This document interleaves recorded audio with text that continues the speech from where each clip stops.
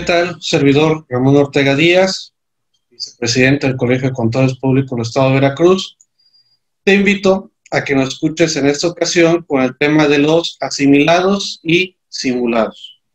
La parte de los asimilados es una figura meramente fiscal que se encuentra dentro del artículo 94 de la Ley Impuesto de la Renta con diversas implicaciones.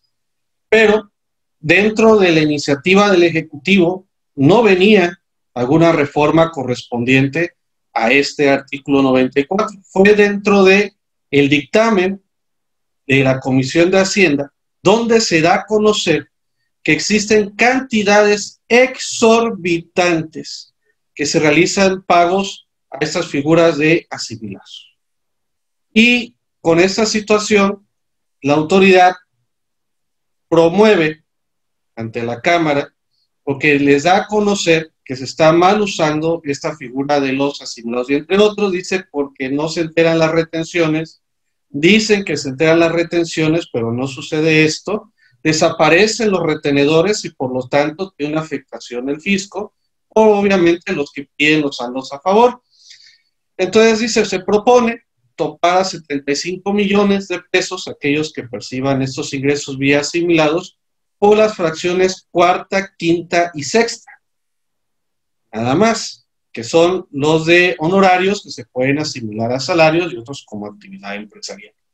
Esto no limita entonces a los que son del sector público, que es fracción primera, los honorarios asimilados, por ejemplo, los socios, una SC, eh, la parte de los emolumentos del Consejo de Administración tampoco aplica a ellos, solamente es fracción cuarta, quinta y sexta, cuando rebasen de 75 millones, el mismo 94 de renta ya aprobado, menciona que se tendrán que ir al capítulo que les corresponde ese título. Nosotros suponemos que tendrán que irse al capítulo segundo, el título cuarto, que es donde está el de las personas físicas, pero eso no lo menciona la ley.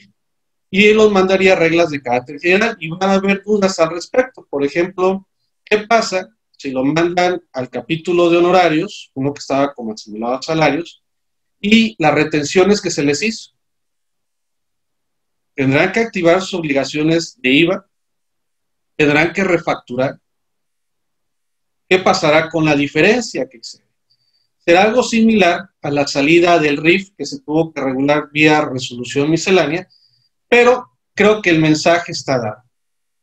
Si bien es cierto que los topa por 75 millones, que inclusive el dictamen menciona que es una cantidad considerable al respecto, pues también es cierto que la autoridad ha encontrado que se están simulando otras figuras y están un mal uso de ellas.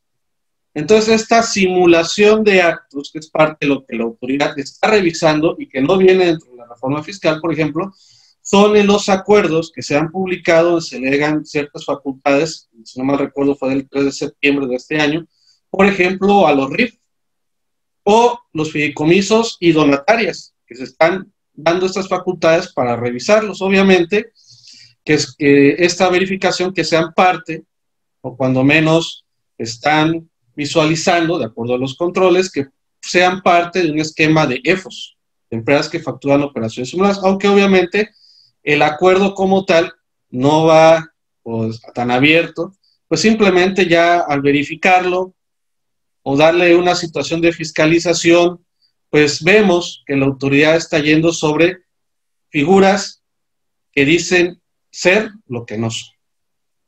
Una simulación de acto. Entonces, pues el primero que tenemos es, dentro de la reforma del artículo 94, esta situación del el tope a ciertos asimilados a salarios, 75 millones de pesos, que todavía no queda claro el procedimiento, y obviamente que ya la fiscalización que están realizando, ¿no? Y ya la iniciativa del outsourcing, que pues, la misma iniciativa pues menciona un mal uso de estas figuras, así que habla también de pagos eh, que no se realizan los trabajadores, eh, creación de figuras como socios, el mismo asimilado a salario, de triples S, entre otros, cooperativas, etc. Entonces, la autoridad, como parte de sus objetivos para el siguiente año, es combatir a las simulaciones de actos, o sea, figuras que están siendo mal usadas. Obviamente que van sobre RIF, que son falsos. Inclusive las facultades por parte de las secretarías de finanzas estatales prevén, obviamente mediante convenios de coordinación, revisiones, invitaciones a RIF. Vemos la reforma de las donatarias, la parte del título 3, las que requieren autorización.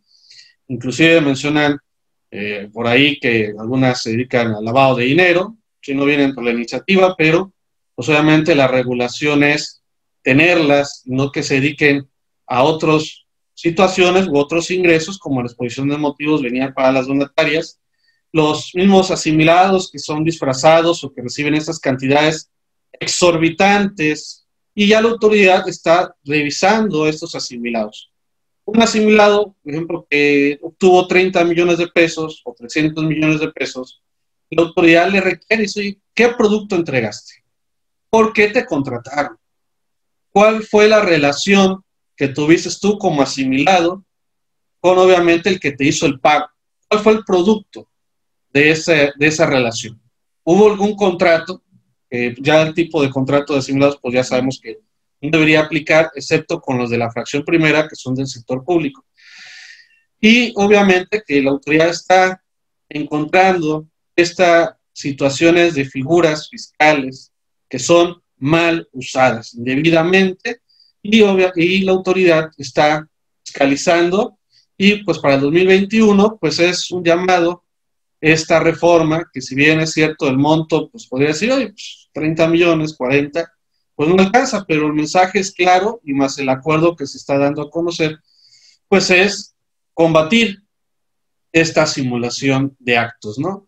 Outsourcing fraudulentos, solos y salarios no declarados, entre otros, ¿no? Por ejemplo, de los asimilados ya venía un programa que se llamaba, se llama ProPrefas, que es un programa preliminar de fiscalización de asimilados a salarios, donde un tipo de invitación te hace dar a conocer que acerques a la autoridad para que te regularices y obviamente si fue la operación como un asimilado o no.